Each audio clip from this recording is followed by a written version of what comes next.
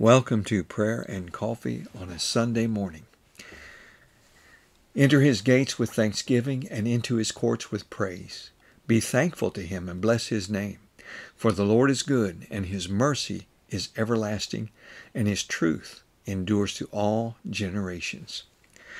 I will offer to you the sacrifice of thanksgiving, and I will call on the name of the Lord in the courts of the Lord's house. Praise the Lord. I create the fruit of the lips. Peace, peace to him who is afar off and to him who is near, says the Lord. And I will heal him. Let us offer the sacrifice of praise to God. That is the fruit of our lips, giving thanks to his name. It's Sunday, the Lord's Day, the beginning of a new week, the day we bring our worship to the Lord. Leave last week behind and lift up the name of Jesus, the name above every name, and he will restore you and strengthen you as we worship him afresh. Get lost in his presence and his glory. Let's pray.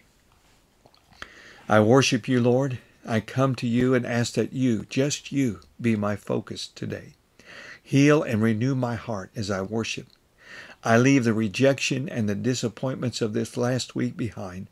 Jesus, I just want you. I want to worship you in spirit and in truth.